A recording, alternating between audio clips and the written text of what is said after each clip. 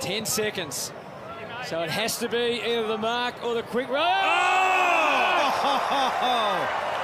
Taylor Duryea has leaped into the clear Tasmanian air and taken an absolute screamer. Where did that come from? The defender come forward has just taken a big hanger.